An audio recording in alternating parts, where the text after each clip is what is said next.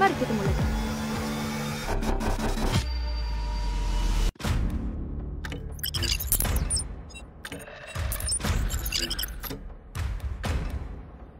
We need to work together untuk tewaskan Game Master. What say you?